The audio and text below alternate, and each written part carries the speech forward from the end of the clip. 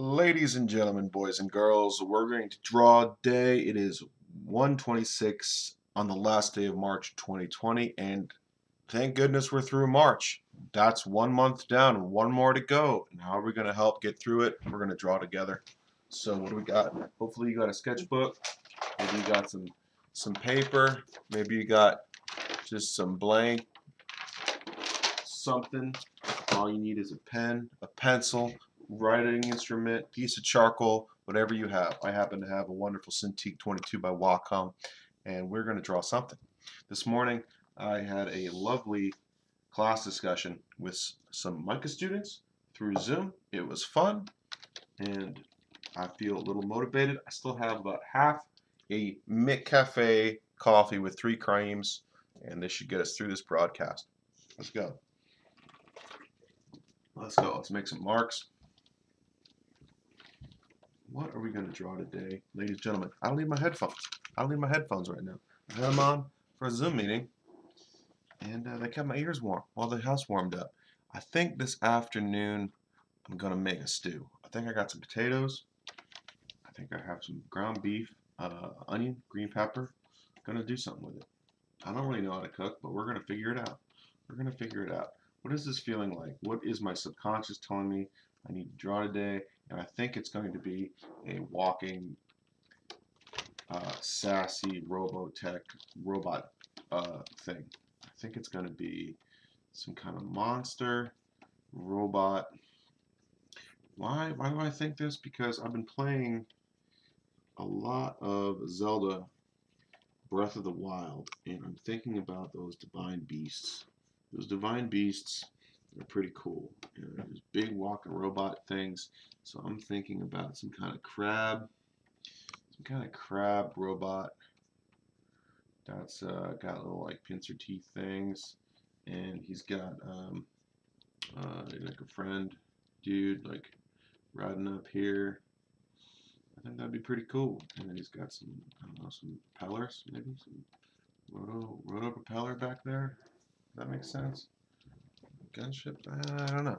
Maybe it's maybe it's a prop where in the water. I think that would be yes, yes. That's what we want. We want to turbo fans. Turbo fan back there.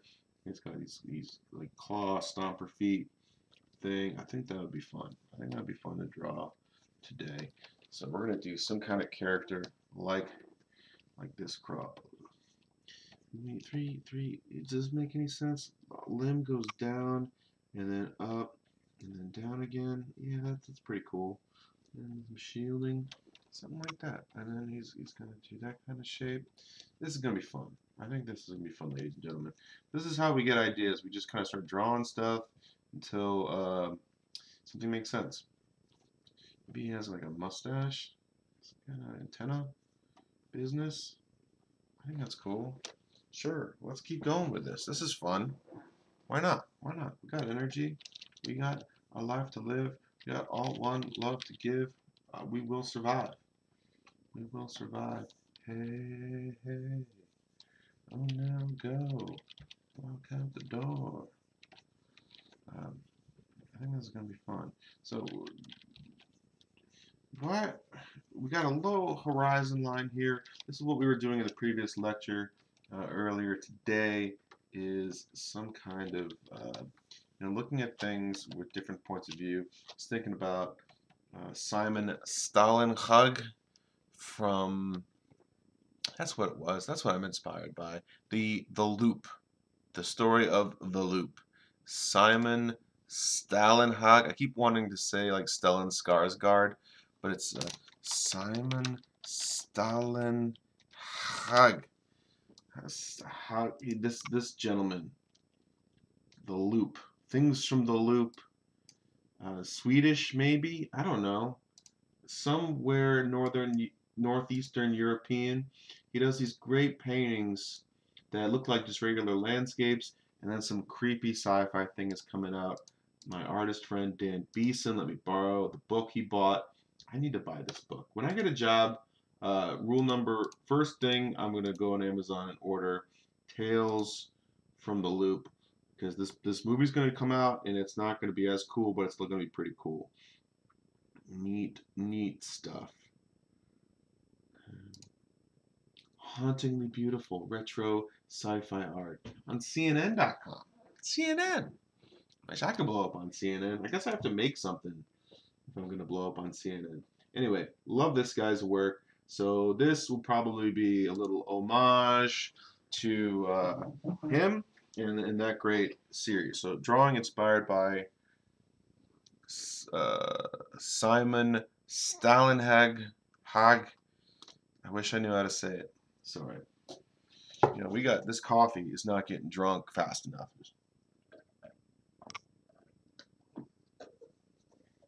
There we go. There we go. We just chugged it. We just chugged the coffee. That's right, L. That's right. We just finished the coffee. It was cold. tasted rough. What's up, L? Glad L's here. Oh my goodness. Oh my goodness. Let's go. Let's go. What do we do? We make a mess. Then we clean it up. See, I, I started this drawing on the left of my canvas. I need to stretch it out. Image canvas size. Uh, L, I sent your wife a link to the video that we did this morning. It sounds dirty. It's not. It's the demo. I sent it to the Google Drive and then to her the link. So she should have that now canvas size. We're going to expand it to the left. That means we need to put the button to the right. Um, what are we, width, six inches? We need more than that. Six inches, six and a half inches. No, 10, we need 10. Yes, that's right, El. We need 10 inches today. Six ain't going to do it. You know, sometimes six is okay. But for what we're drawing, we need that breadth of the wild. So we got our you know, robot guy kind of in the foreground here. We need a little more height. Image canvas size, height. Let's go. Let's. That's where the six needed to be. Needed to be six high, ten wide. Those are two great numbers, six and ten. Oh, great. Six, ten. Both three letters. Very different sounds. One syllable. Easy to say. Six, ten, sixty. It's a lot of things. 60, 60 seconds in a minute, 60 minutes to an hour. It's good. Good numbers. 6 by 10. We got our newsprint gray in the background. Am I recording this? Yeah, I'm going to record. I'm going to put this on YouTube later. This is going to be a good one today, ladies and gentlemen. It is Tuesday. And what do we say about Tuesdays? I don't know. I don't know what we say about Tuesdays. The good thing about Tuesdays, I'm very excited, ladies and gentlemen. I'm a Phish fan, and tonight at 8:30, the band Phish is going to do a live stream on livephish.com broadcasting a show from 2014 of their performance at Merriweather Post Pavilion in our very own Columbia, Maryland. Yes, I live in Pennsylvania, but that's the closest outdoor music venue that I prefer. I haven't actually been to the Hershey Park one. I hear it's good. I think Phish is playing there this summer if the tour goes on. But I heard that sold out so fast because that's the only northeastern show that they'll be doing this year. Right. So we have we're gonna have our character, which is gonna be this crazy, crazy thing. I don't know. Where's my horizon line? Is there? Horizon line dimmed down a little bit. Boom. Um, if it's a crab monster, I, I imagine it's got to be on the beach. It, it, right? Right? It came out of the ocean, and now it's on the beach. So we're going to have the ocean back here somewhere. New layer. Uh, where, why am I not... What am I drawing? Brush. I'm making... Oh, it's on eraser. Why? Why? If Only Photoshop had some kind of neural interface. The thing in the ocean is going to be kind of green. That would be fun. Maybe it's like low tide. I don't know. Uh, was recently out in uh, my friend Joanne and I did some road tripping, and we've talked a little bit about this on the show. That I've just completed a big West Coast trip, and one of the coolest places. We went to so many cool places, but on the Pacific Northwest, there are some awesome coastline stuff. And uh, unfortunately, I don't think do I have any photos here? Um, here's my wonderful friend Joe, and this is one of the coastline places that we went to, and it was this rocky coast, and it was kind of smoky. You see how the, the we have the water is this kind of sagey green, actually, like it's gray and green, and the rocks get red and green. It's a little bit, there's all these all these various colors in here. We're going to use this as inspiration for the background um, of our scene today. So thanks, Joe. Great, great having you along on the trip. She took these wonderful pictures. Shout out to Joe. Wonderful photos uh, of some uh, little sea life living. There was little crabby guys. This is awesome macro photography. Super cool. And then we did some, uh, oh, look, look how dainty and cute I look in the tree. Oh, isn't that adorable? Isn't that adorable? Love the redwoods. We're going to go back to the sea life uh, on the coast with Joe. All right, this is going to, this image is going to go over to the left side. And I'm going to also drag it into here. And we're going to use that as a guide today, ladies and gentlemen. Why do I say ladies and gentlemen? Because that's from another podcaster, the Spiffing Brit, who does wonderful, hilarious videos breaking video games. And he talks about tea, drinking lots of tea, and thanking the Queen, and more tea. I wonder if he's going to. I wonder if he's going to change his tune now that uh, the Queen is retiring, and that the Prince is going to come up. Good afternoon, Sir Brandon. Sir Brandon. Good afternoon, Maria. Oh my goodness, so wonderful to have you uh, with us. Uh, haven't talked to Maria in like 20 years. Welcome, welcome here. That's very cool. I've been following your Facebook. We're drawing today. We're going to take some inspiration from a West Coast trip I did, and I lost this photo already. Where the heck did it go? Oh, I moved it. Uh, we'll get it. We'll get it back later. Here's a here's another one from that area. Here's here's me, and Joe took this wonderful picture looking off the Northern California coast. This is by Arch Rock in Northern California, Southern Oregon, somewhere in that area, and it is just a remarkable, remarkable piece of land. Let's take you to the Google Earth. Um, we're going to go Arch Rock in uh, California. Oh, Oregon. Oregon is what? Oregon coast. Google is going to take us there, and we're going to get some nice reference of that whole area, what that's like, because that's going to educate our drawing today. Google Earth's amazing. I was just talking to the students about 30 minutes ago about using Google Earth for getting inspiration. We can zoom in, go to the satellite view, so we click on the upper left, hit satellite up. And if you're using this from a computer, it might work on the phone, but I'm not sure. You can go from a computer and then find a 3D enable globe view button. We're gonna hit that. And this should give us some like 3D altitude information. Sometimes some areas are better than others. You can hold control and then orbit around using the control button and the left click. And we can see what this environment kind of looks like. So I'm imagining this like rocky coast, uh, maybe with some waterfalls and some sea spray and all that kind of stuff. Sorry, I'm moving kind of fast. This image, this is not one of the better high-res locations that Google Earth has data on.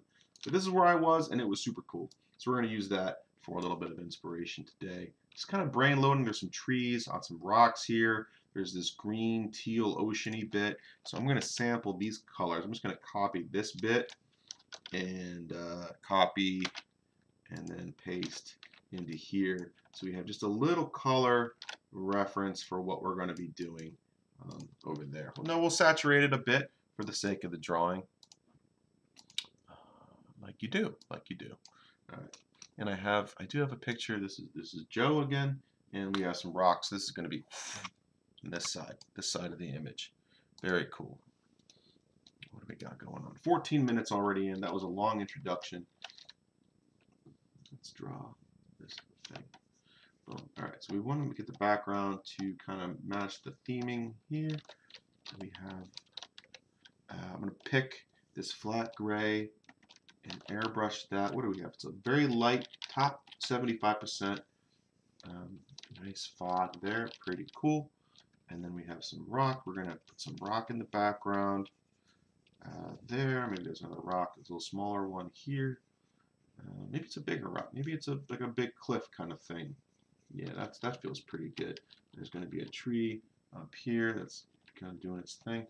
And there's going to be a couple trees coming off this thing over here. And maybe one more uh, rock in the background distance. That's fun. Cool. And then in the foreground, who's calling me? Uh, that's my mom calling me. I'll call her back.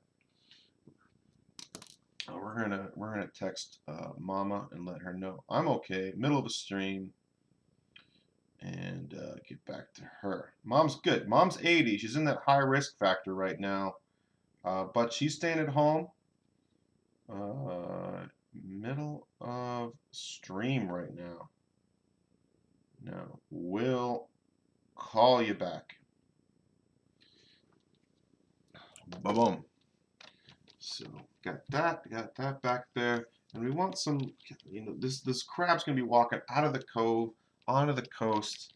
Uh, good friend Alex Giannini. I'm thinking about him right now. He's doing some know, some lectures and talking about books and comics. I'm sure in in uh, Norwalk, Connecticut, somewhere like that.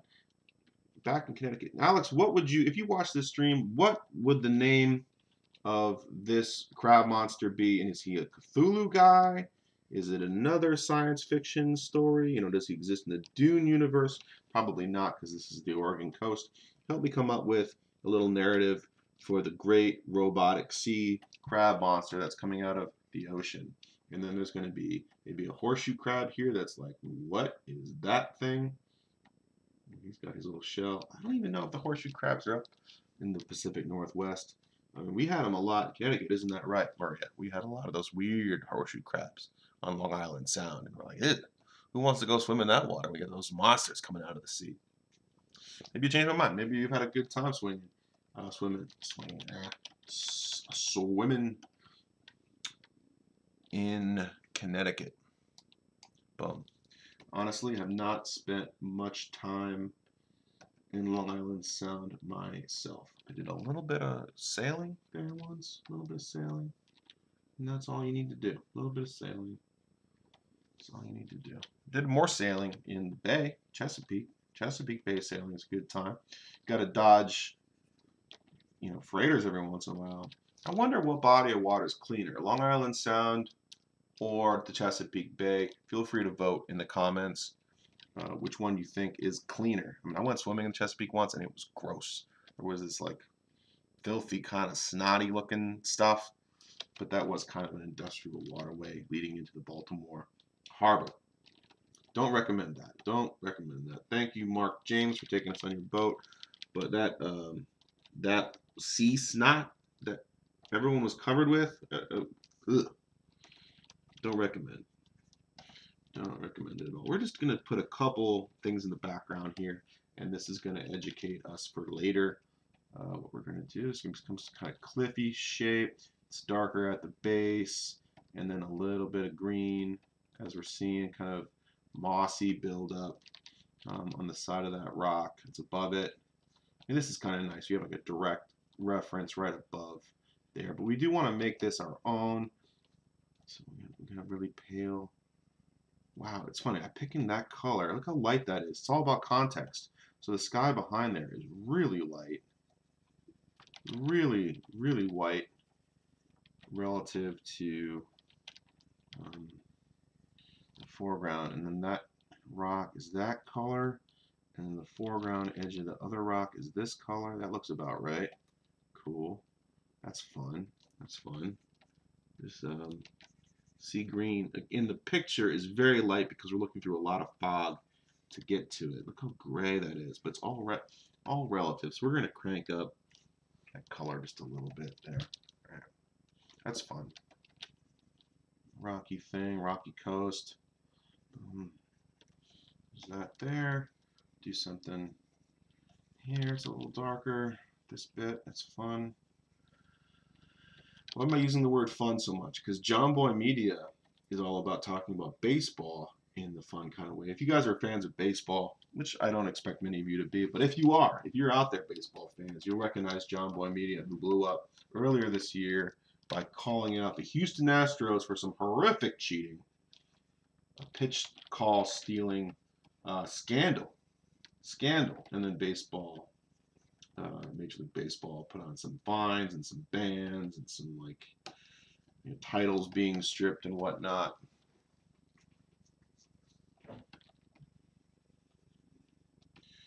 A little bit of mossy, mossy color there. That's cool. That's cool. Maybe there's a little, you know, bit of blue sky that's kind of sneaking out, but mostly this is a kind of foggy Pacific Northwest, rainy, soaked kind of day.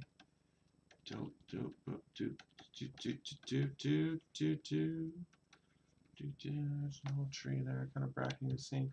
All right, this is just enough to get us uh, just gonna place us in in an environment something like that there's gonna be some waves water I don't know it's probably some sea foam this is, this is fine it's fine all right let's work on our guy I was painting half of that on uh, this guy here and we're just gonna go with it this this is already established enough to uh, keep let's just keep working. Let's just flatten it all out, work all in this layer together. So I'm going to pick the background color and just kind of lighten up, yeah, just over the top. So we have enough area to paint over what's happening here. This is just our underdrawing or underpainting kind of thing. You know, water as it gets close to us is going to be a little bit darker, and he's going to be shadowing the ground here. just kind of doing that, doing that, doing that, doing that, doing that. I forgot to send out a link to this to my art party um, group, but you know they're not really commenting on my work anyway, so we'll just let them find this on their own. We'll just let them find this on their own. We'll find it. If they want to join, and participate, that's fine. If they don't, you know, whatever. I'm not going to hold it against somebody for not watching my stream. There is so much good content out there right now, ladies and gentlemen. So much good content. Jomboy Media I mentioned. Rogan's got some funny stuff. Bert Kreischer. Joey Diaz. Joey Diaz is so freaking funny. If you watch Joey Diaz, I can't blame you. I can't blame you for that. You can watch, uh, you know, any, any, everybody and everybody's podcasting right now. Much love goes out to my teacher friends who are trying to figure out technology. I know all y'all professors ain't that great with technology, but you know you know a lot about teaching people so, uh, you know, good luck to you all there. I'm to paint over this, uh, this, this thing. Let's paint over that. Cool. Feeling good about this. Silhouette does so much for us. Just a little bit of silhouette um, in the distance can give us uh, just what we need when it comes to inspiring people with something in the background, something going on. That's fine. We'll figure out something to do with this area later. I'm not really sure what that's all about let's start massing in with some color tone this shape. So little, we're imagining there's a lot of fog and a lot of moisture in the air uh, for this scene. We had some really serious fog come in. Was it yesterday, Brandon? Was it two days ago? We had the thickest fog. Thickest, thick, like a milkshake fog here in southern Pennsylvania. Hey, Kembo. Hope you're doing well. Um, thanks for chiming in. Thanks for mentioning that you are here, sir. Oh my goodness. Brandon sent me a link. F images, fineartamerica.com, steampunk giant crab attacks lighthouse. A lighthouse, that's a good idea. Oh my goodness. Oh my goodness, look at that. this is some Cthulhu type thing. Oh, wow. Who did this? Wow, that's fun. oh, I wish I thought of that first. That's a great painting. Man, that's silly. I mean, the anatomy here is a little weak, but we, you know, we can develop that and work on it. I don't know who did this, but they need a high five. They need a stern high five. Bam! Good job drawing crabs attacking lighthouses. Yeah, we can put a little lighthouse back here. Let's put a lighthouse, but I think our crab friend is going to be a uh, architecture aficionado, and uh, would probably respect respect the lighthouse. I think they would uh, it would understand. Oh, that's not a good place to storm the beach. Um, lighthouse thing, kind of over here like that. Really, there's a, there's a bunch of really awesome lighthouses on the Oregon coast. Um, we kind of stopped by one. I forget the name of it, but it was right on that cliff, looking really cool. Um, our friend Roberta out there showed us the lighthouse on the cliff. Uh, yeah, the, the color's not great there. We'll work on that. We'll work on that. It needs to be a little cooler, a little bluer, just kind of overlay. Lighthouses are pretty fun. We don't have a lot of nice lighthouses in Maryland. We have some like little spotty bits, but not like the classic lighthouse that you see in New England, Cape Cod, Maine, um, Pacific Northwest. It's got a lot of really cool lighthouses, but they got that fog, you know, they have strong need for lighthouses um, out there. I don't know if the fog is as big of a deal in the uh, Mid-Atlantic. All you waterman types, uh, please join in the comments if you have experienced terrible fog in the, the Maryland regions. That color doesn't work at all. It needs to be a cooler. needs to be a cooler color. Needs to be a cooler color. Uh, this morning, caffeinated Tom has been brought to you by McCafe, locally owned and operated McDonald's. Uh, I, they're wearing their gloves today, so I believe this is a COVID-free beverage. Don't forget to hydrate. Coffee's diuretic. Gotta get your hydrate on there. Elk Neck State Park has a fun lighthouse, Brandon says. All right. Brandon wants this this claw to have uh, something in uh, you know this crab to have something in its claw with a big shape. Well, Brandon, I hear you. You are correct that I should do something like that, but I'm going to be wrong here and err on the side of. Um, uh, he's going to be a little bit more manageable. I've already decided I want somebody to be this like there's a there's going to be a person sitting on top of this thing up here. Uh, I've already decided that. Why? I don't know. I kind of like this scale for this guy a little bit better. Um, I don't know what that person exactly is going to be doing. Maybe there's like a, he's got some like ropes he's controlling. Like it's a weird lasso kind of chariot style control system, analog controls for clearly digital robot, right? But I don't want to be too much like the other drawing that you sent, which was great of uh, crab monster holding a ship in its limb. Um, submarines are kind of amazing. One of my favorite images of all time, of all time, goes back to the Great War. And it's of a U-boat that had washed ashore in England. And I think I have a folder that is just of powerful images that has it Nope, not seeing it. Not seeing it. But it's really foggy and really spooky. Let me see if I can pull it up real quick. U-boat washed ashore might have been Ireland or Scotland. And the photo is just so creepy. Yeah, okay. Please be with SM U-118. Look at this photo.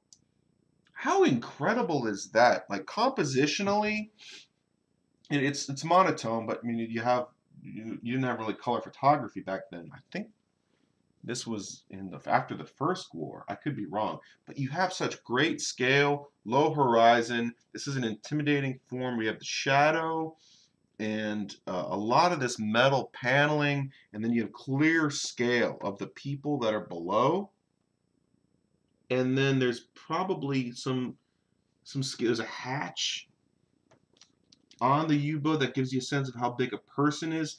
This I think is in my subconscious. This image was in my subconscious for the kind of scale and kind of proportion and scale and stuff that we want this robot creature to be. Not like super huge, more manageable, kind of human size.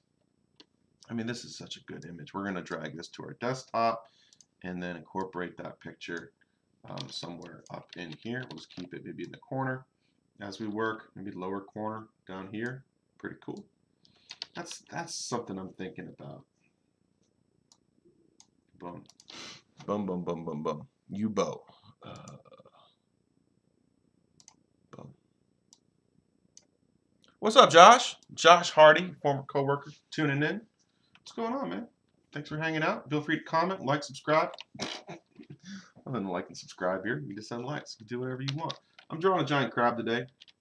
Crab robot character. Uh, did not, you know, when I first did the sketch, I didn't think about arms on this guy. I have like the, the legs um, that he's going to be walking on. He's got quadruped kind of leg system. And let's see. Maybe like little tiny, like little tiny control arms would be fun like up in front.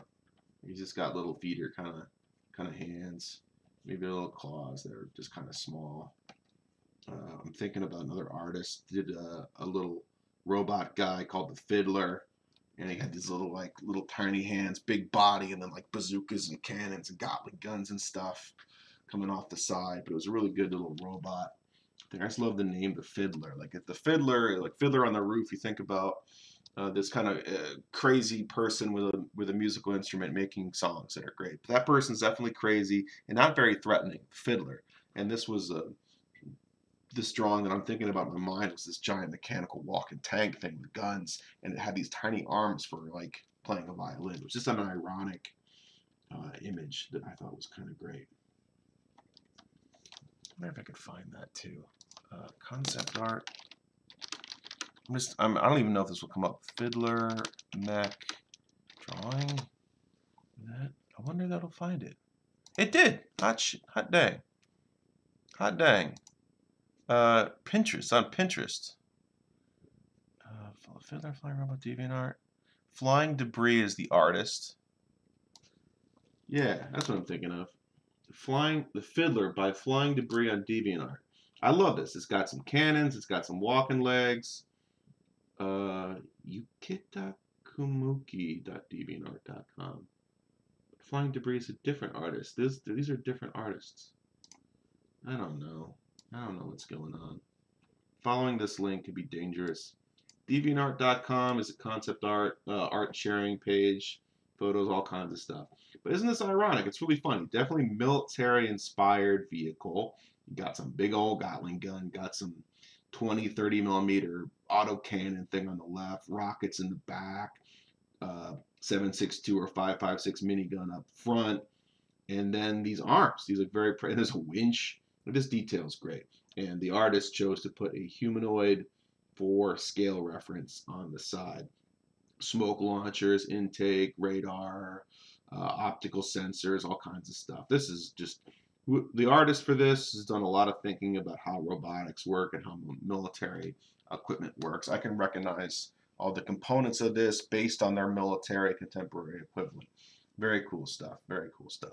That's what I'm thinking. Little fiddler arms. It's got little tiny arms for doing stuff, manipulating things, interacting with uh, objects that are of a human size or of the controller size, kind of stuff. Yo, uh, Brandon's like, so he's a friendly crab. Trying not to get in trouble. Yeah, I think that's it. It's just a very curious uh, crab dude.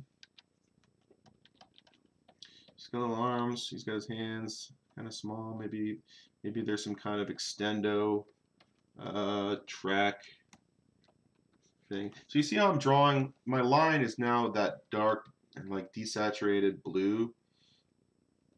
Um, what? So I originally intended for those that turbine to be in the back. What if it was in the front, like a hammerhead kind of thing? Was that interesting? Is that interesting? No, I think if, if the if the engine was in the front off of the mustache, then when the legs moved, it would hit those. So no, I don't. I don't think that's gonna work. We're gonna put those. Um, we'll leave these as there would be some kind of sensor, some kind of probing. Um, must mechanical sensor thing, I think. I think that'll be cool. I think that'll be cooler that way. Some kind of probe. That's that's interesting. And then we like to have little zigzags. And then this whole engine assembly, I do want to move it above and behind so it's out of the way. Let's um, kind of Maybe lightly over that. Does that make sense? Make it really dim.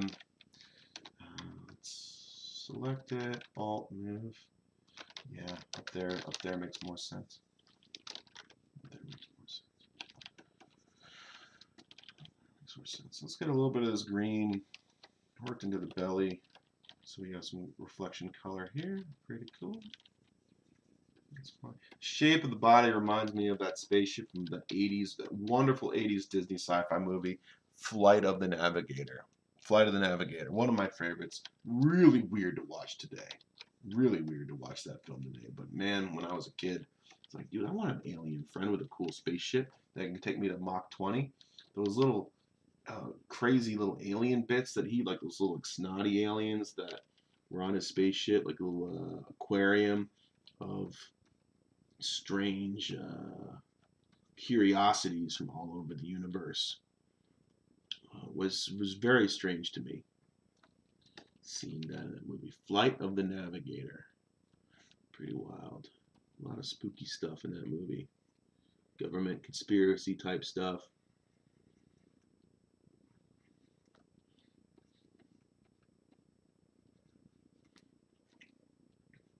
Start working on a silhouette. We got some Maybe he's got a little like doodads and odds and ends and sensory bits. Maybe there's a barnacle or two kind of hanging off.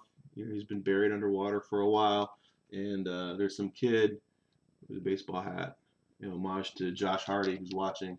You know, this this is definitely an Orioles fan. You know, it's got to be a Baltimore Orioles fan that ends up in the Pacific Northwest is like, that is a giant mechanical crab, dog. We're gonna get in there and ride it clearly from Dundalk. Yeehaw! We're riding the crab. On. Let's go O's.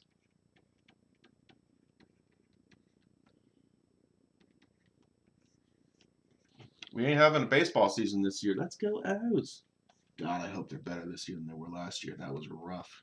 Come on, Crush Davis. I hope you're getting some good batting practice in the off season. This crab's like, who are the O's? What are you talking about, dude? Engine, a little more silhouette back there. Yeah, that feels good. Little turbine engine kind of thing that uh, impeller, you know, propeller that's inside of some kind of uh, apparatus thinking about James Bond Thunderball, that wonderful underwater fight scene, like scuba diver fight scene, circa 1975. Everyone's underwater fighting in that movie. That's great. There's probably some fins.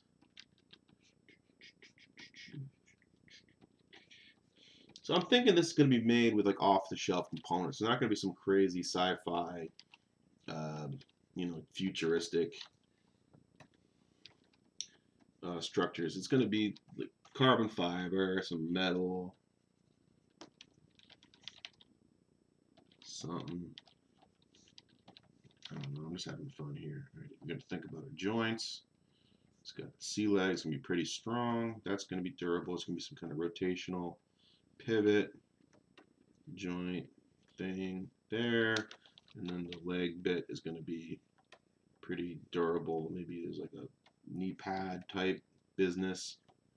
Um, little sensors like pressure sensor nodes that are going to be coming off of that like some spikes and then piston toe pad kind of business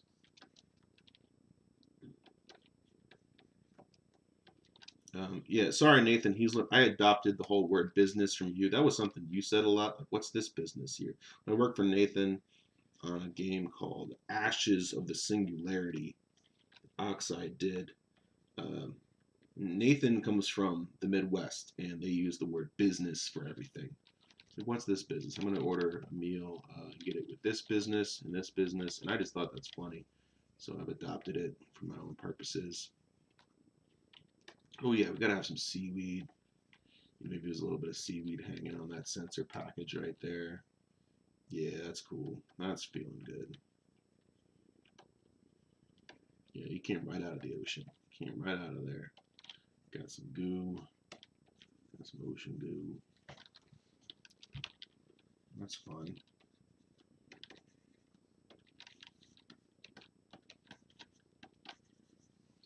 Having a good old time.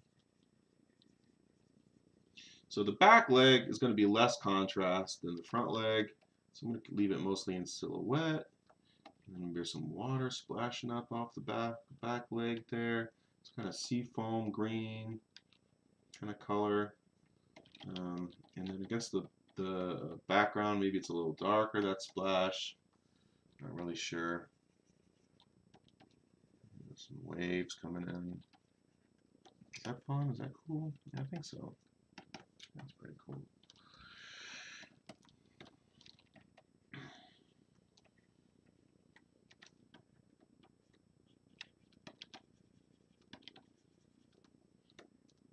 So water, especially when it's when water's flat, it's going to be very reflective.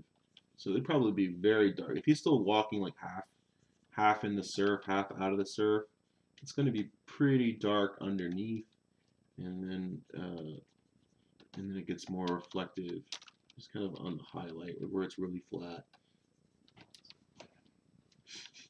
That's cool.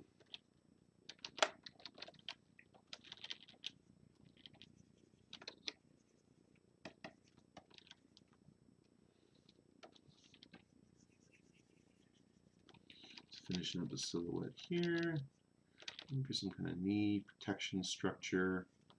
Um, pivot bit.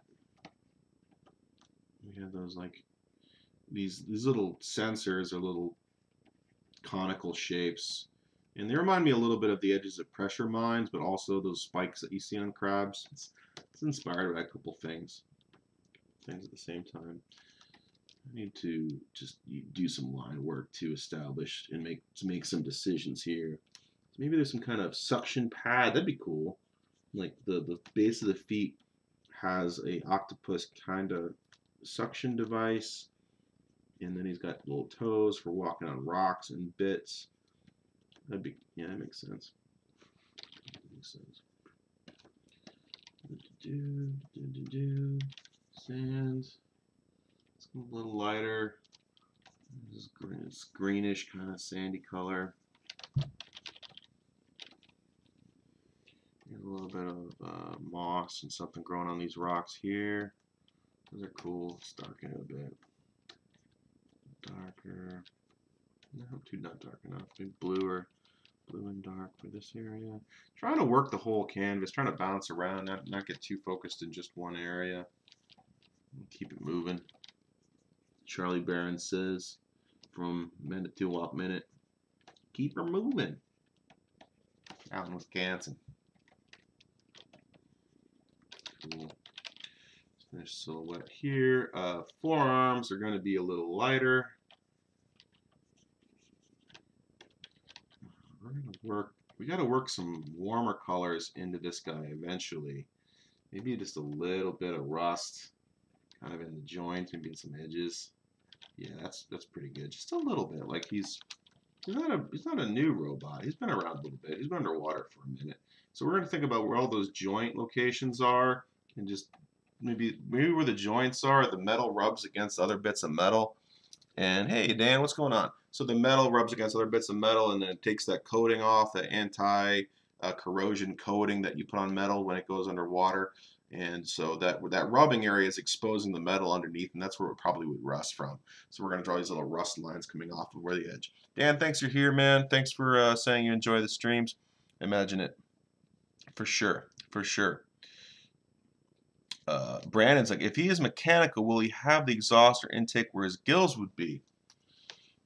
That's a good point. What is his fuel propulsion source? He's got this little turbine thing.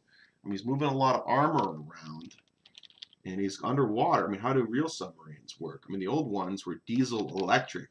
So when they were on shore, they had a diesel generator type thing, like a freight train. Um, and then they had batteries to run them underwater. So would would it be a would a snorkel be a good idea? Maybe. I don't know a lot about the biology of crabs. Um, you know what their gill apparatus is. Maybe this is a good time to learn about that.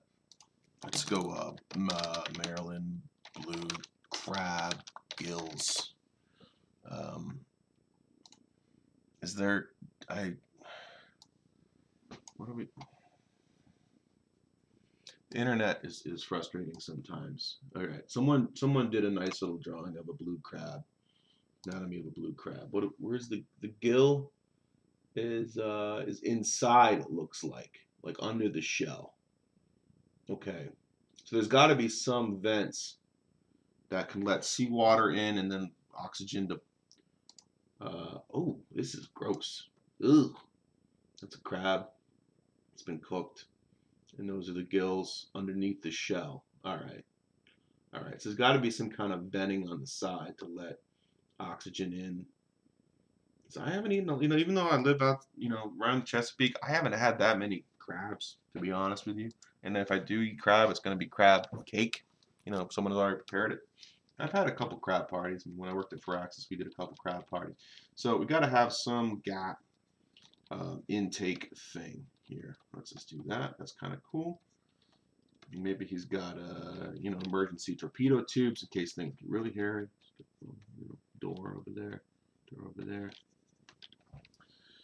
He's really crabby, needs to lay a smackdown. It's a little bit of red in the joints. Uh, places where things are, are kind of rusty. Kind of cool. Let's darken that in. Let's darken that in. Let's darken that in. Let's darken that. Um, you know, ladies and gentlemen who've been following my stream, Brandon's going to be asking the question in a second. Tom, why haven't you flipped the image yet? Why haven't you flipped the image yet? Okay, okay, I hear you. I'm going to do it right now. Let's do that. Let's do it together now. Image, image rotation. One, two, three, flip horizontal. Boom. How does it feel? Well, now we can establish our compositional kind of elements. The, the center of the crab is over to the left side of the canvas that means either we need to bring in the right side or expand the left. I prefer to expand the left here. We have uh, a 10 inch image that goes across 6 by 10. We're going to expand it out. Let's go double, uh, maybe a little bit longer wide. Let's move it out to that side uh, to a width of 12.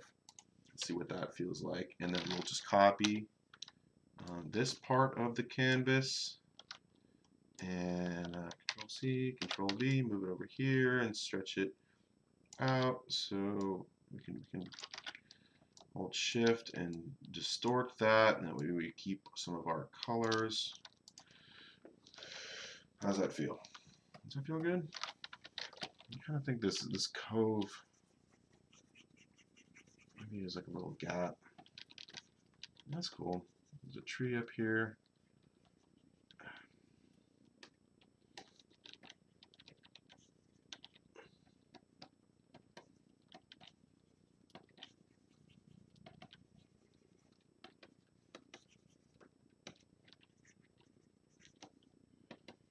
Feel good?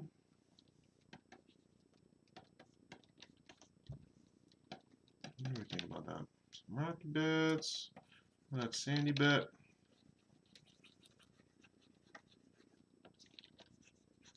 See, we're just creating chaos and then hoping inspiration arises from the mess. Sometimes you just gotta flip the table over, see where the bones land, and then clean up your mess from there. All right, this is this is pretty cool. Is feeling pretty good. So that, that back leg looked a bit like a rock way off in the distance, so we're going to need a little bit more um, contrast there and a little bit more uh, information to make it really pop up off the background. So the water is coming around it, it's splashing up the edge.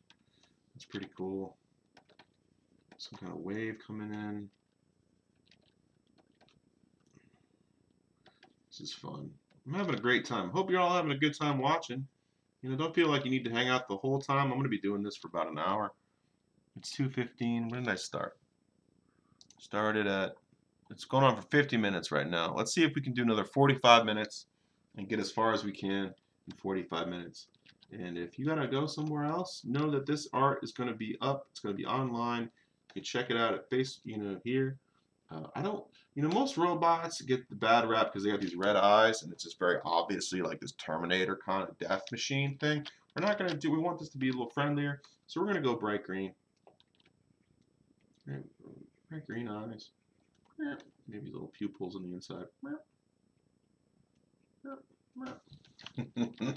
That's pretty funny. And it feels a little bit more like that Simon Stellenhag uh, inspirational art. Stellenhag? I don't know.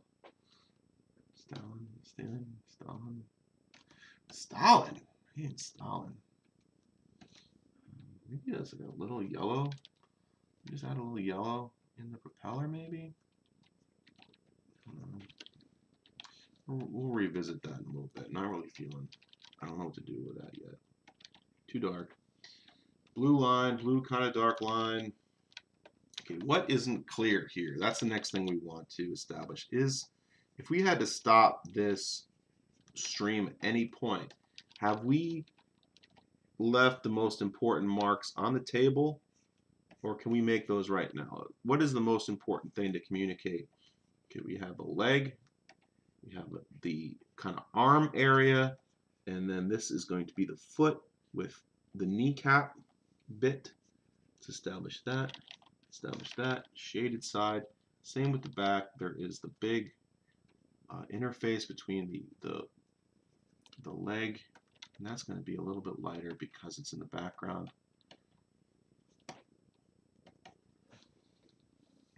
That's there something like that, something like this. So the, the surfaces that are looking straight down are going to be the darkest, and then the surfaces that aren't looking straight down are going to be a little lighter.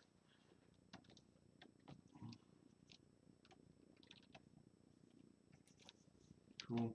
So this whole area in the middle is getting a little confusing. Maybe I can clean it up with some tone and color. So dark in the background, dark underneath, dark in the control arm there, and then we need to need to redraw and clarify what these arms are about here. So we have like top arm, forearm, hand, and then uh, kind of I guess this is like top of claw. So like imagine all the all the fingers together and then thumb underneath. I think that's cool. That kind of works. And then we'll just lighten it. So we want to expose the top of that, top of that claw. Side of the claw. Other side of the claw. The joint joint bit. So we want to solidify this best we can. A little lighter, a little brighter, a little higher contrast. There we go. And then we can add a little bit of that red in there later where there's some rust. That's fine. Cool. All right, that so that makes some decisions and clarifies that. And behind there, really subtly, we'll have the joints of the back leg. All right, yes, yes, crabs usually have more legs. I'm not going to draw all six crab legs. That might be for another podcast. This is going to be a quadruped crab uh, for now. You know, the, end, the guy who made this ran out of time. So I really wanted to do six, but I just didn't have enough gears and crankshafts and all that kind of business.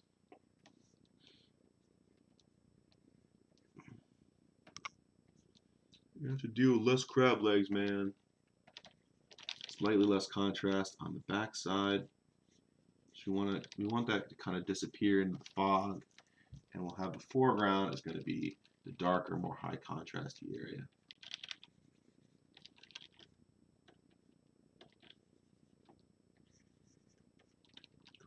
Then we got a little mouth. I don't know what he eats, but it's probably some kind of like refueling probe.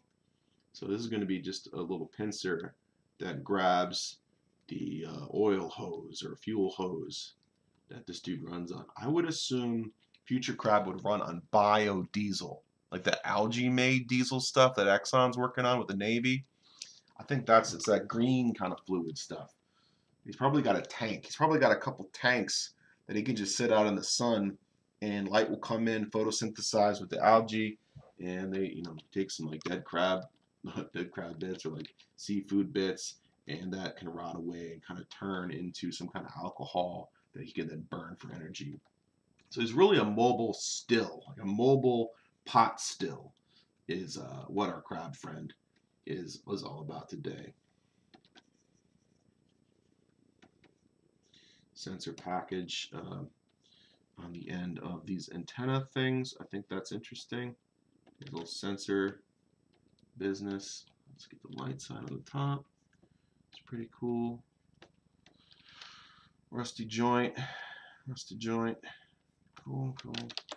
What are we doing? We're making progress. I think we're making some really good progress. What's up, Drew? Welcome back. Welcome back. Glad you're all with me today. It's a pretty popular stream today. It's a Tuesday, and we're making light of a dark situation by drawing a crab from Oregon, from outer space. Actually, not outer space. Probably made by a previous generation. I love the narrative in Zelda Breath of the Wild that the technology from that game was made like a centuries ago, thousands of years before, is when the high tech uh, civilization existed, and uh, there was a big calamity. In the game, the the era you're playing in is this period of recovery, but it's mostly primitivism, tribal villages, and there's this kind of rotten old technology, this high tech nuclear fusion powered magneto uh, electronic kind of stuff that the player is learning how to use again. There's a couple scientists in this universe are figuring out, oh, how does this this computer thing? How does this work? How do we upload images? And um, and you're you know that the high-tech stuff is where you need to get to. And there's little hints. Maybe there was flying machines. Somewhere in the back of a laboratory is a wing, and you it's this dramatic irony where you, the player, live in the 20th century, 21st century, and you know what wings look like and what technology looks like, but the characters in this universe don't understand what this magical these magical devices are. It's kind of like if you went suddenly to one of those lost tribes in the Amazon and you found them like taking apart an airplane that had crashed in the wilderness. You're like, oh, I know what that is. They don't. They have no idea what these like plastic, lightweight, carbon, uh, composite materials are. And they're like, it's like that movie, The Gods Must Be Crazy, where a Coke can falls from the or Coke bottle falls from the sky, and it's transparent and it's the strongest material they've ever seen. They're all fighting over like what this mystic, mythical um, object is. That's pretty interesting uh, opening. I don't know about the rest of the movie. I got bored with it pretty quick, but that opening scene I thought was pretty cool. And then one of the villagers volunteers. This thing's evil and it's driving a wedge between us. People are fighting over this thing we didn't even know existed. Uh, I need to go into the wilderness and uh, throw it back to where it came from. It was some, some guy in an airplane that was drinking a Coke and threw it out the window and landed in this Sahara, um, savannah, deserty business place. There it is again, business. Thanks, Nathan Heeslet, for permanently changing my vocabulary with uh, business.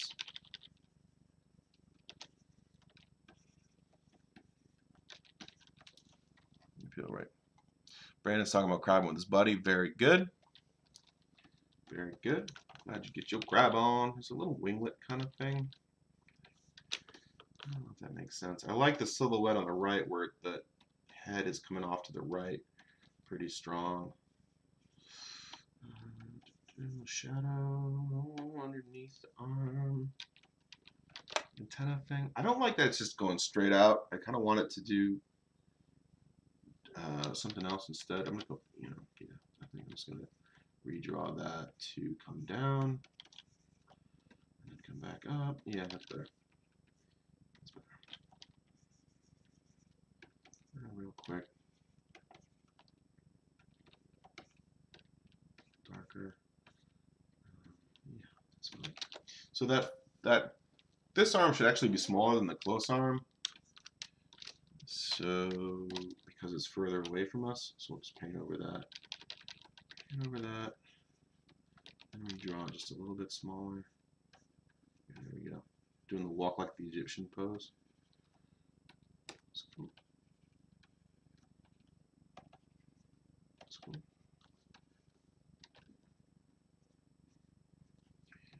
That's fun. Right, and the other arm is in the foreground.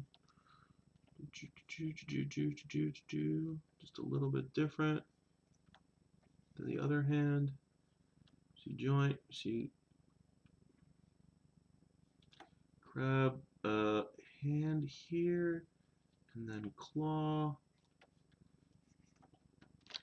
You have side of claw, probably silhouette of the negative space in the background. Gotta remember about that. That's the edge of the shell over there. Right. Oh no no no no that's not right. If this if this leg is here, the other leg would probably be over here. Yep, that's it. Alright, so this is going to be the negative space here.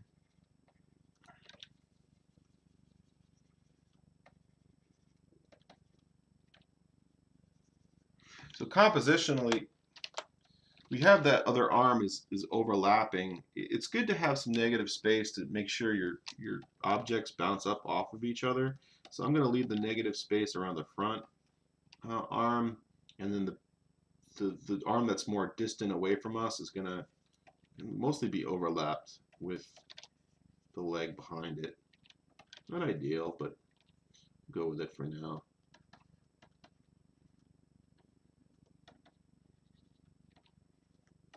So the, the leg behind it is going to be mostly shadow, and so the arm in front of it is going to be a little bit lighter, and I think that will uh, make it work.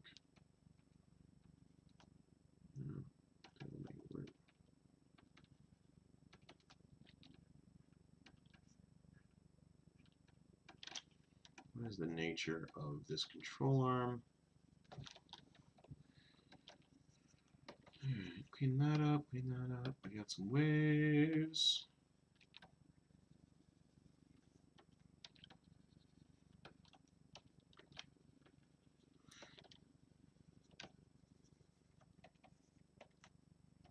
a little brighter there.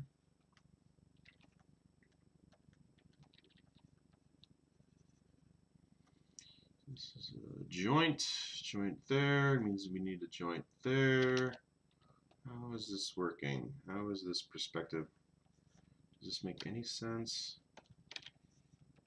joint there. Joint's there.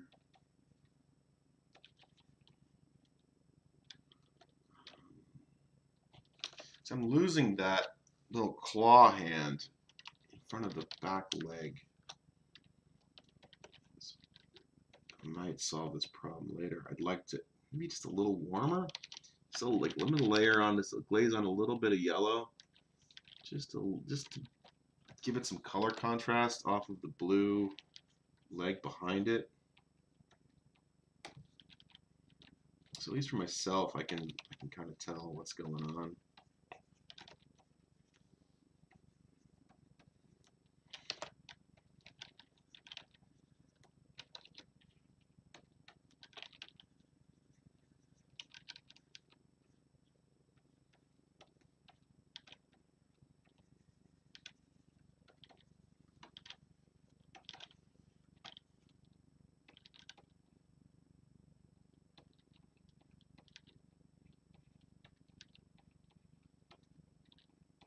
house thing. Um, it's a little dark. Bring it up a little bit.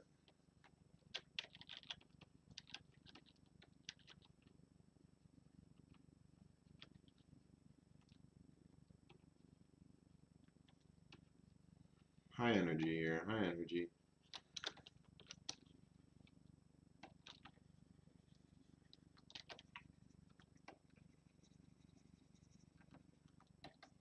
Is there one specific light source for this scene? I don't know. I think the sun's probably occluded behind the sky. There's probably a, a dominant directional light, but uh, it's really all over pretty ambient in this scene. In this scene, right now we have this. The top of the crab is very similar in color with uh, the background. We're gonna keep this green kind of ocean theme going on with it. Just gonna lightly glaze in, maybe 30 percent just a little bit of color on that shell just so that it distinguishes itself from the sky background. Be a little yellower and brighter. Softer at the top. Like a sea turtle kind of shell color. I think that's good.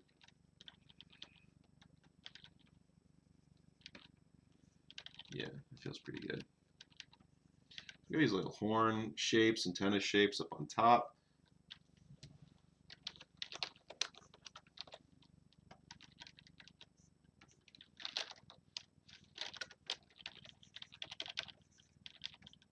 What's up, Sven?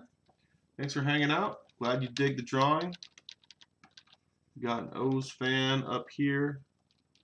That's uh, riding a crab is what's happening.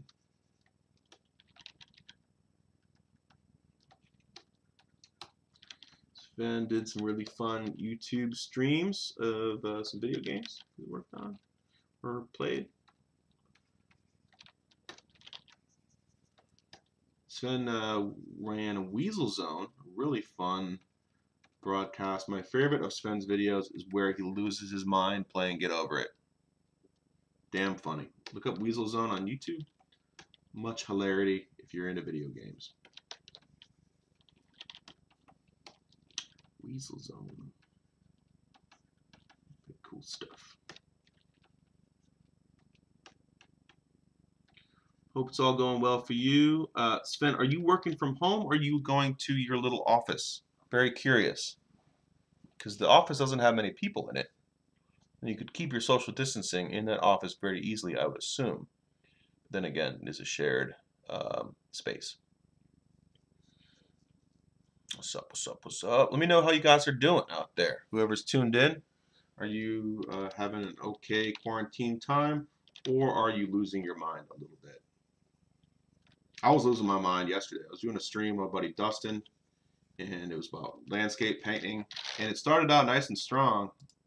Let's save this. Let's save this uh, file before I get lost because who knows, get hit by lightning, could lose everything we're working on. It's good at least to try to save it a little bit. Let's call it crabs. Uh, uh, crab robot. Robot.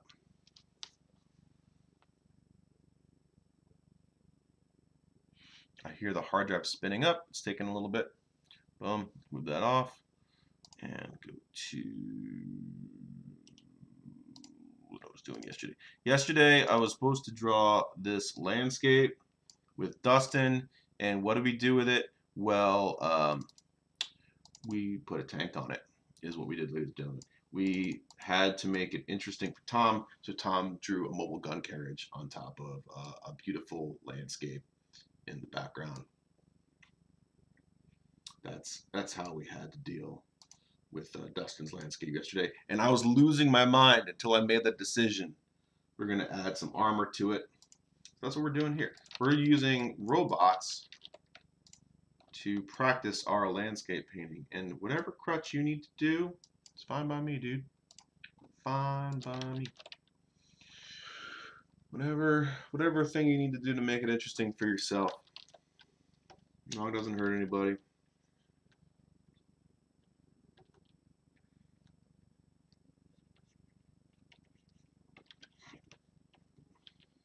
Little sea foam. So this back leg is going to still be in the water. Maybe it's got a little splish, splishy splash, taking a bath kind of thing happening. Probably some water coming off of it. You know, there's going to be some drops of stuff. I don't really know. I got to think about how I'm going to do that. Uh, certainly some more of the seaweed, though. We're going to have some, some more seaweed coming off of uh, draped and, and stuck in different places. Definitely around the joints. That'd be cool.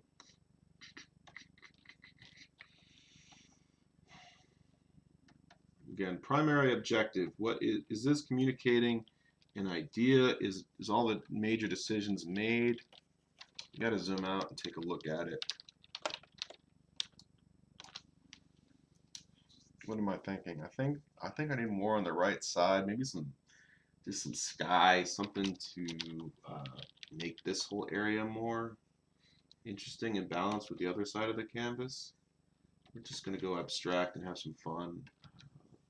More emotive kind of sky. Maybe a little bit more saturated sky as we go to the top of the canvas. Let's go 30%, 20%, Does that help?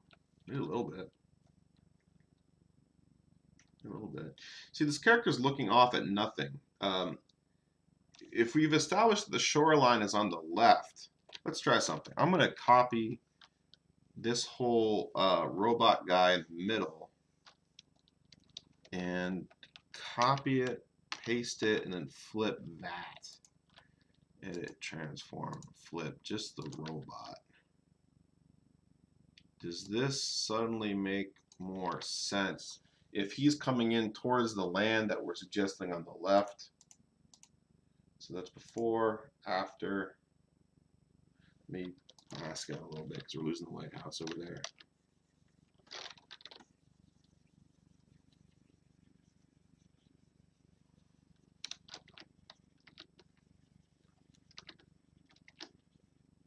Something like that.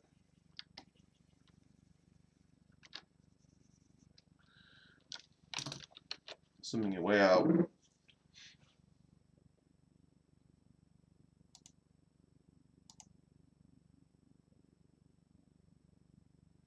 I like him going that way better. I think I want one of his legs to be like like in motion, like in stepping mode. Like one one one of these four legs is going to be up and it looks like maybe the, the foot on the right is, is kind of getting there.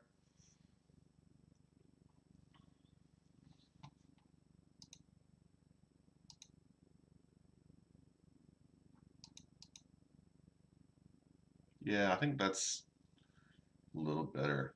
We'll go with that. Um, so I'm just going to copy the, I'll leave the process. So we'll control, control Shift, C, copy everything, paste, and then we can turn all these other background layers off and maybe make a folder for it called uh, development. And all that stuff goes in there. And then we have a new layer. Maybe brighten it a little bit. Let's see how our levels are doing. So we we I tend to draw in the dark middle and that way I can go lighter really easily. So I'm going to crank this thing up make it a little brighter for you guys on the stream. A little brighter day. That's cool that's cool. Um, uh, thinking about which leg to move. Like it'd be easiest to just draw a shadow on this front leg and pretend that that leg is getting picked up right now. So maybe we'll do that just because it's easier and faster. And we just have the shadow kind of underneath that business. It's very obvious which leg is uh, toes kind of coming off the sand, and then there'll be some kind of imprint, maybe where the leg was, where the foot just was.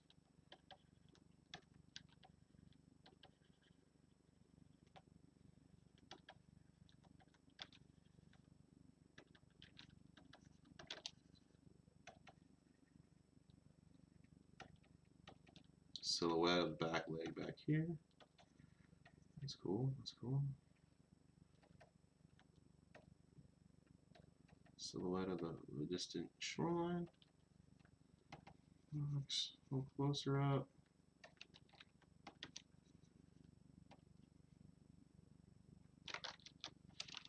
A little bit of that sky reflection. It's going to be reflection off water of the sky is going to be a little darker, a little less saturated.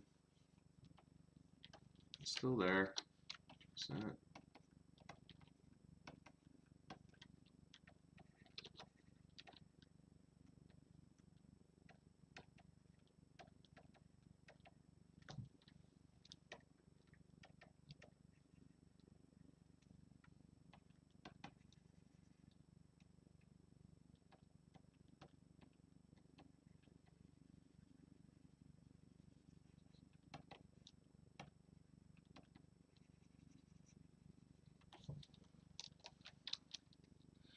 Brandon likes to flip. Thanks, Brandon.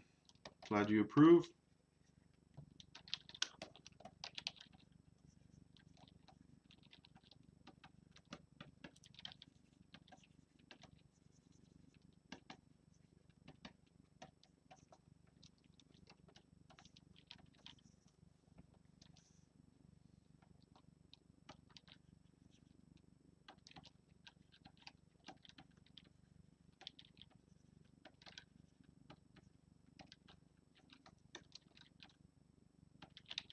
Some more shadow, some lightness. And again, what are the most important decisions that we can make at any given time? You got to keep your macro eyes open. Like, what is the outside?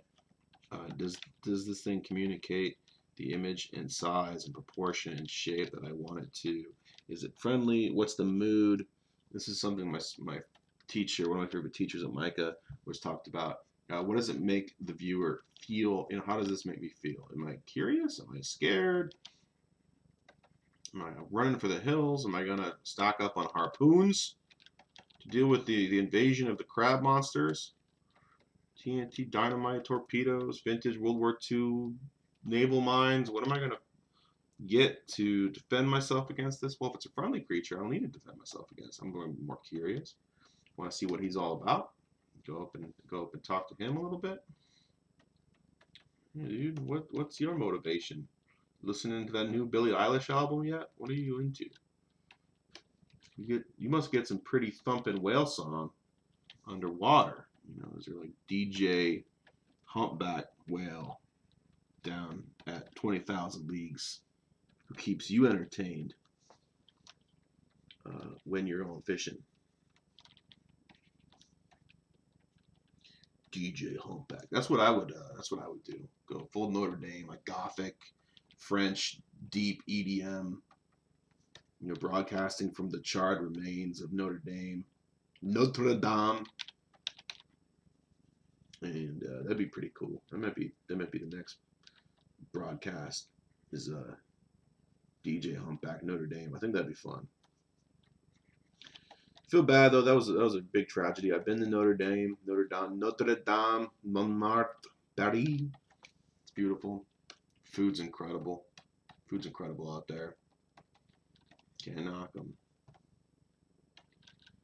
I know uh, Ian from Forgotten Weapons, aka Gun Jesus, big fan of the French, the FAMAS, the Chauchat. Hmm. I've heard it said that the French and us don't get along as well as we should because we're very similar. We don't like we don't like other people telling us what to do. Us being Americans. That's why the stay-at-home like stay-at-home orders just like aren't really sticking. Because I heard it said on a primary and secondary modcast this week, last week, that we're like Americans are first place finishers in the don't care what anyone tells us to do contest. we're not a compliant people. That's why law enforcement's so hard in this country. Because think about it, everyone that lives in America, except for the Native Americans who were here before us, um, came from somewhere else that they weren't satisfied with. And they're crazy enough to get on a rickety ship or an airplane, like spend a lot of the wealth that they've accumulated in whatever home country you're from, and take a giant risk, either crossing the ocean or um, whatever, to be here. To be here. Now, if you were taken against your will, if your family was taken to this country against your will, that's a different issue, of course. But I'm talking about the majority of people who are here. Um, did it vol- like their families went somewhat voluntarily. So those people, uh, the those who evolved or were birthed from that group are naturally going to be predisposed to be risk takers and uh, non-compliant with whatever standards of society have been made in the homeland.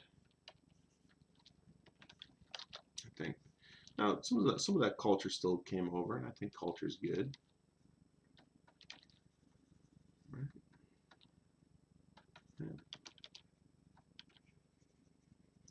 So this crab just wanted to have a look for itself. What are these? What are these Americans all about in Oregon over here? Here's place pretty good. They got some good food. Got a lot of green colored stuff.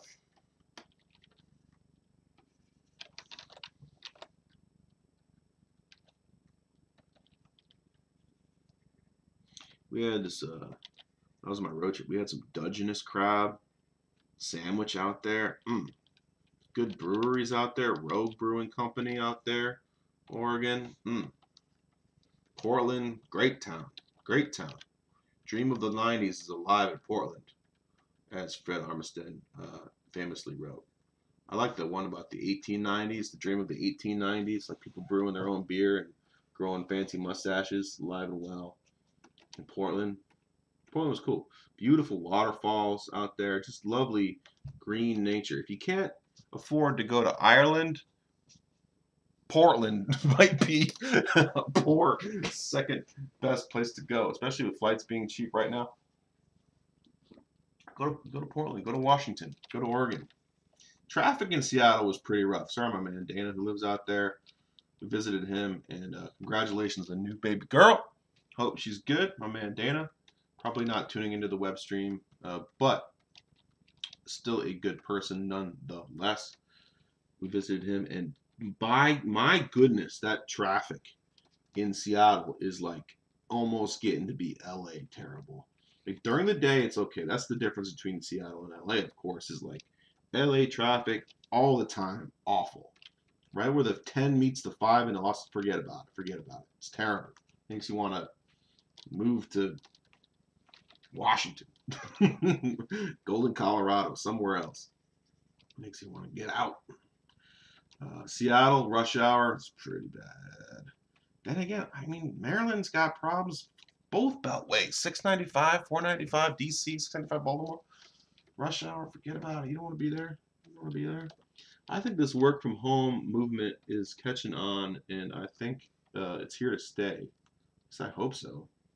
Like if you can shoot, if you can spend, if your company can spend four grand building you a workstation from home, let's say you have a computer job. If you don't, that's fine. If you have like a construction job, of course you have to go where you have customer service job, medical job, you have to be where the client is. Sure, uh, but um, if you're a digital kind of banker or artist or programmer or something, I think you can do a lot from home, one or two days a week, and just save that gas money, support your local business where you live. Like right now, like I miss I used to work in Hunt Valley, Maryland, and all the lunch places are there. Like Bagel Works, my favorite place to eat lunch. Get a tuna salad with bacon and provolone on an everything bagel. Oh, it makes me so happy. Um, so uh, we, we got we got Big Apple Bagel up in Shrewsbury, but it ain't no Bagel Works. I mean, they try. They're doing a good job. They're but they're trying. They're not the same though. Bagel Works is just the jam. Just the jam. So I missed that place. I actually drove down there yesterday. Got myself a uh, sausage, egg, and cheese to go. Got a um, tuna salad on everything with lettuce, tomato, onion, bacon, provolone. Look, you don't get to be this big eating veggies every day. To get to get here, you gotta get some bagels in you.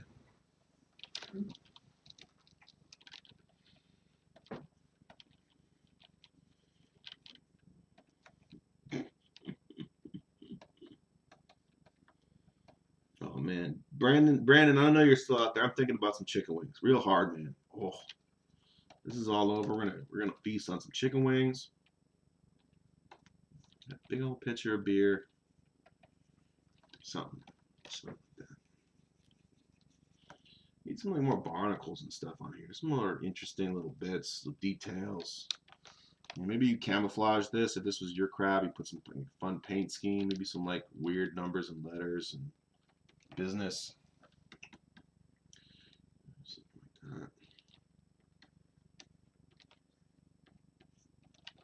Something like that. This guy on top doesn't have uh, any kind of uh, work done on him yet, so gotta do gotta gotta do that. Or a T-shirt. If he's an Orioles fan, he's probably wearing black. He's probably wearing black, you know, because uh, in memorandum of having a team that was once good, uh, you know, we're in the dark logo of the Baltimore Orioles. Um, probably with a smaller, like little, little logo in it. Because if you're out in Oregon, I mean, you're wearing an East Coast baseball team, they might they might frown upon that. So uh, our Baltimore Dundalk hipster guy, maybe he's from Hampden. He's got his little mustache because he wants to fit in with the the elite of Portland, but still wants to represent his local colors. So he's got the orange of uh, of Baltimore. He's probably got a sleeve tattoo that involves the Calvert flag. That's what I would do if I was him. And then uh, he's got his hands up. Running out of energy. Folks, what are we at? One hour 25. We're going to wrap this up in five minutes.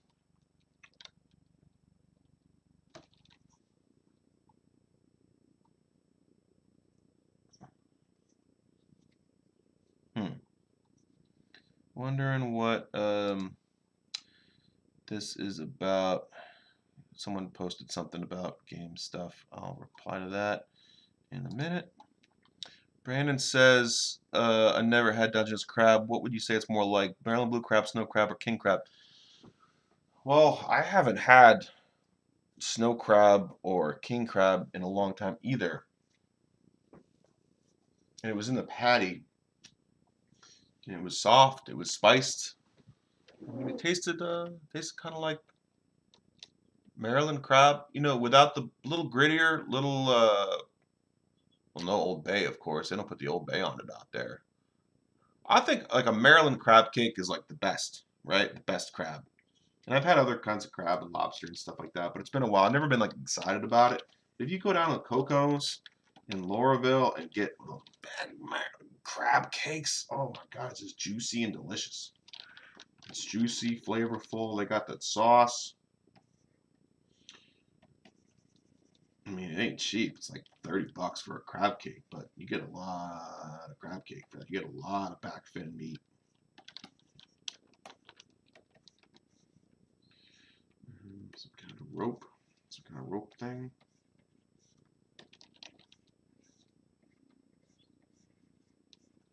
Like I'm generally a beef guy. If there's beef available on the menu, I'm usually going to go for that first, except when I'm in the Pacific Northwest, because that they know what they're doing with seafood, and I think it tastes different. I had some great seafood out there, and it's not fishy at all. It's fresher, and I just think, well, the salmon, for instance, is partly raised uh, or grown in fresh water, and so I think it has less of the sea taste to it and more of that freshwater taste to it. It's not as fishy. The salmon out in Seattle is a different animal. It's so good. So it's not the Atlantic salmon that we get out here. It's Pacific salmon. It's just a bomb. It's fresh, it's juicy, it's light, and uh, it's got just enough flavor to remind you that you're having fish.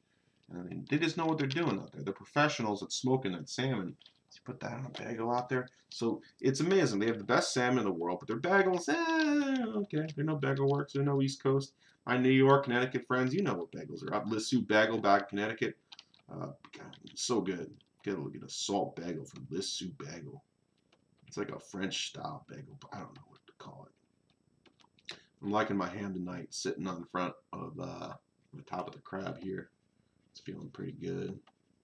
Get your crabs on. Ball them all. Be more, be more careful. Be more careful Baltimore. I wonder if this is going to make Baltimore safer or more dangerous. Uh, this whole uh, shelter in place, stay home kind of business. Or is it still just as terrifying or more so than ever? Baltimore. Earlier today, talking to some wonderful art students who were attending the Maryland Institute College of Art, my alma mater, but uh, virtually, virtual conference. I think they're still home. I don't know if they're back on campus yet. I would assume not, because they went home for spring break. Poor kids dude's uh, up there. So dude is pretty high contrast. I'm going to take his background color at 10% and just glaze over him, knocking him back just a little bit. That's cool. All right, I'm going to establish some of the rocks in the foreground. A little bit more.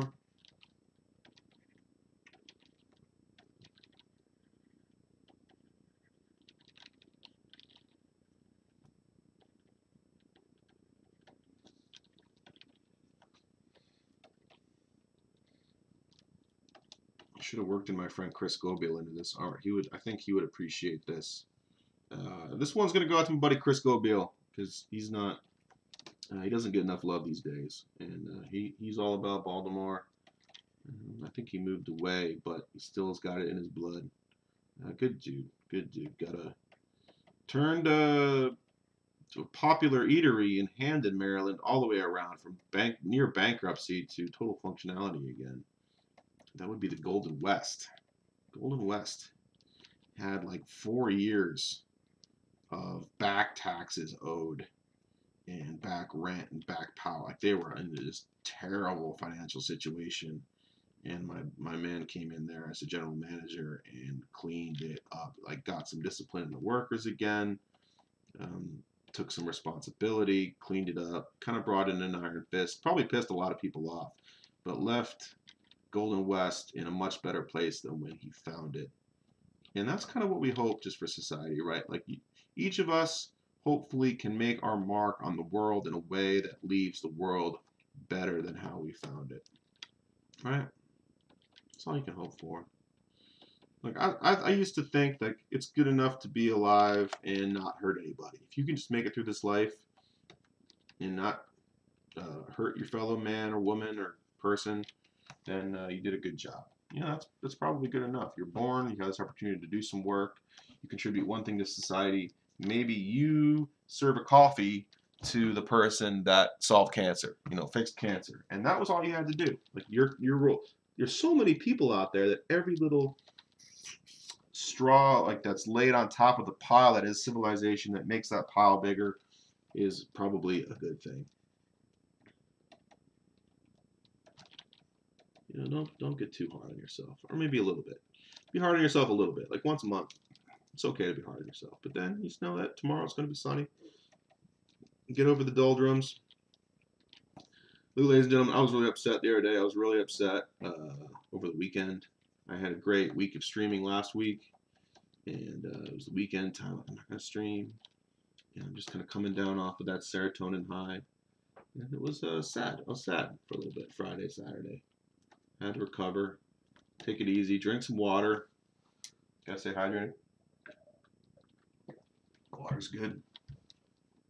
Then get back after it. And Monday was weird. And today's good. Today's a good day. Drawing crabs, all my friends.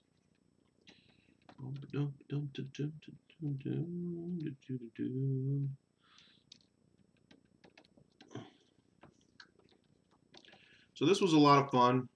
Thank you guys for hanging out with me today. We're going to wrap the sucker up. It's been an hour and 33 minutes, and that is three times longer than the normal human being's attention span for silly art creation. So we're going to wrap this puppy up. Just want to put a little bit of brightness here. What are the most important things to finish on this uh, this scene that we have right now? Maybe a little bit more uh, blue, a little blue sky coming from there. Some lines are coming in from the outside that take our eye towards the crab guy. Let's blend this guy in just a little bit more here. That's fun. There, that's kind of fun. That's cool. A little more highlight on this, this top antenna there. Um, want to get that clouds to continue through this shape there. It's cool. Alright, alright, alright. Lighter underneath. It's fun. Little rocks, little like lichen and stuff up in the foreground there. Over some of these black lines. Crab feast. I'm not, you know, Brandon, thanks for the invitation to go crabbing. Like, I don't love crab enough to make a whole day of it, but uh, thanks for the invite, though. Thanks for the invite. Maybe someday. I mean, I like being on the water, being um, being on a dock, hanging out, drinking a light beer. Um, yeah, that's fine. That's kind of stuff's good. Didn't do as much landscape studying as I probably should have today. I might do another stream where I'm looking at more reference and trying to get uh, better uh, landscape kind of development. But for what I wanted to do, this is pretty good. We're going to darken just the edge by that, um, by the cove there. Maybe there's some darker. And then just a little splishy splashy foam bits on the water. Think that's cool. There we go. A little bit of like lighter, lighter area in there.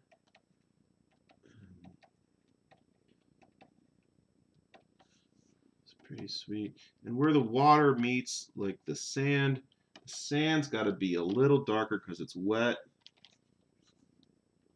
So there really would be an edge there. So let's make that edge a little bit harsher, a little clearer, and a little that sea foam color where the where the water is at the edge of the sand. There we go. That's that's feeling better. That's feeling better.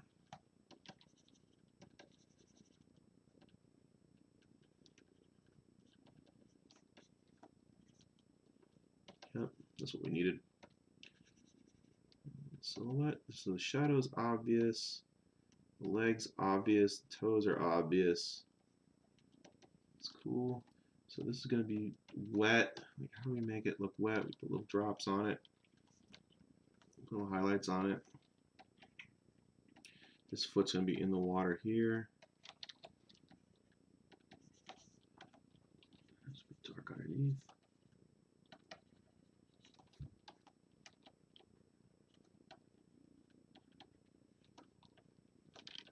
High energy, high energy mark making. Pretty cool. Wrapping it up. Make sure our silhouettes are good. Crab arms good. Not loving the back hand, but we're gonna have to work with it. We're just gonna have to deal with it for now. That's an interesting shape. Cool, cool. Right in the top of that. Get rid of like the black marks. Just want to have it more in color with stuff. So maybe just a light green up top. It's gonna be. Let's go over with a, a soft round. We're gonna do a quick overlay layer and see if we can punch this up a little bit. Make this layer overlay, and then we're gonna flip the canvas to see it fresh. Flip horizontal. Again, it's offside. Let's crop it in just a little bit. This crop tool gives us the PowerPoints to uh, see if, if things are lined up in an interesting way. Uh, front leg is in the left lower PowerPoint. Right leg, let's make that the right PowerPoint. That's pretty good right there. Boom, that looks good. And we're going to overlay using the soft round opaque brush and then throw in some colors to kind of punch up uh, the distance and the volume of stuff. So maybe light, maybe some blue in the background there. See, look at that overlay. It's just giving us a little bit more of that color and a little bit more gold, kind of yellow, um, green in the foreground. So just going to brighten that up. And then I'm just going to pop the color just a little bit more. And then a little green glow for that eye. That's cool. That's fun. And then to, to go darker with like, just the shadow area underneath, layer a little blue underneath, and then behind the arms, just darken, darken the joints, darken the underbelly of the crab, increasing the overall contrast. There we go. There we go. That's, that's good. Shadow that area. Underneath. That's cool. Mm -hmm.